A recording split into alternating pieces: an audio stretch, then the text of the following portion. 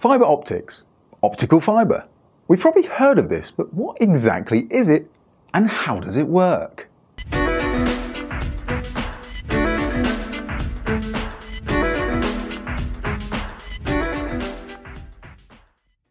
Hello there! For all of you who don't know me, my name is Danny Ward and this is Knowledgica. From networking and communication to surgery to those wired novelty light things, fiber optics play a huge role in society. Some of you are probably even watching this video using fiber optic broadband. So, that's great. End of the video, right? No, no, no, no. We need to find out how this technology works. Three simple words. Total, internal, reflection. Total what now? Is this some unofficial spin off to Total Recall? Not quite, although admittedly, that would be quite cool. Has anyone got Arnold Schwarzenegger's number? Think he'd be down for that? Hmm, I'd watch it. But anyway, back to total internal reflection. This is where light bends greater than 90 degrees when it travels through a material, meaning that all the light is reflected back in. Let's apply this concept to fiber optic cables. A fiber optic cable consists of a big old bunch of optic fibers, and these optical fibers are thin glass or plastic strands that are designed for transmitting light.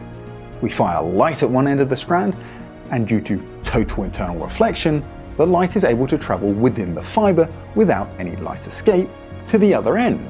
Good eh? The glass and plastic core is surrounded by a cladding that has a greater refractive index of the core, meaning that the light is able to continue traveling along the core without being affected by its outer coating. How fast does this light travel? Brace yourself, because the typical speed of light along optical fiber is around 200,000 kilometers an hour. So a little bit faster than that time you're racing home because you drank too much. This technology allows for long distance rapid communication of high volumes of data without the risk of electromagnetic interference that many traditional metal cables are prone to.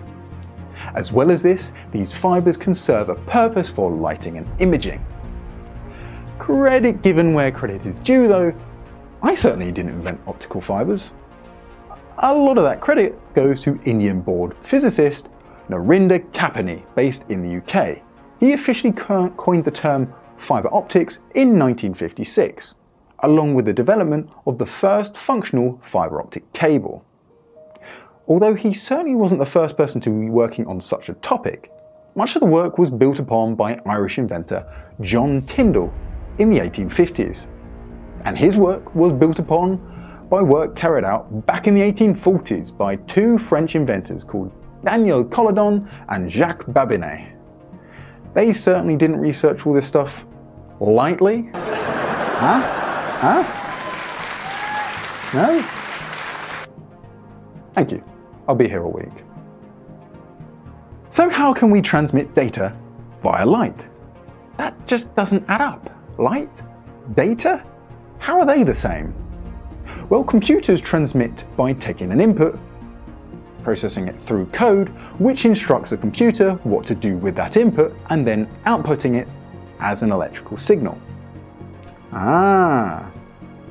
So for fiber optics, that electrical signal is converted into light signal, where it's allowed to travel along the fiber, where at the receiving end the light signal is then converted back into the electrical signal, where it can then become machine readable.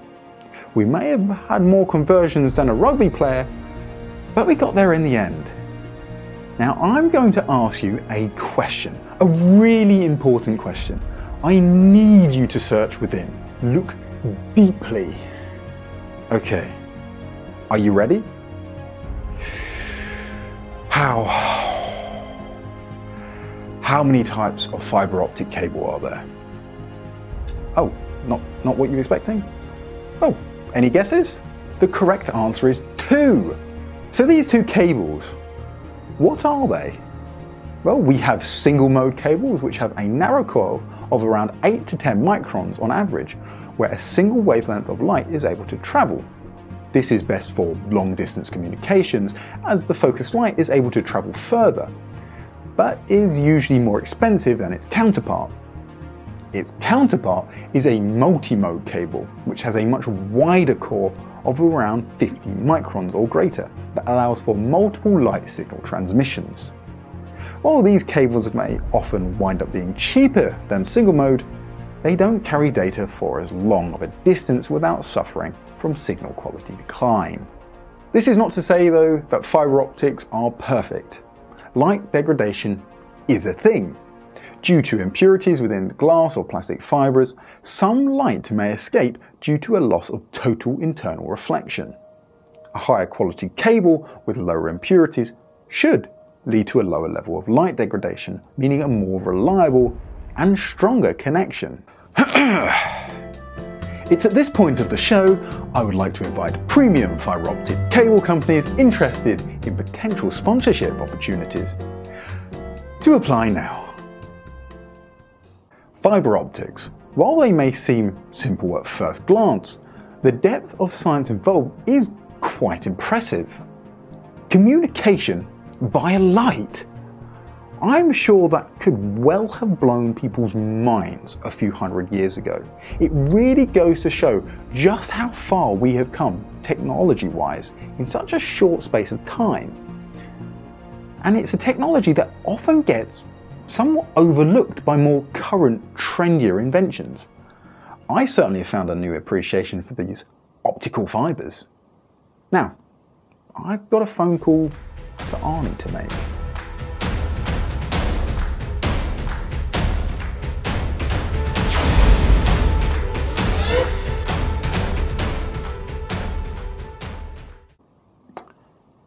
Stay hungry for factuality.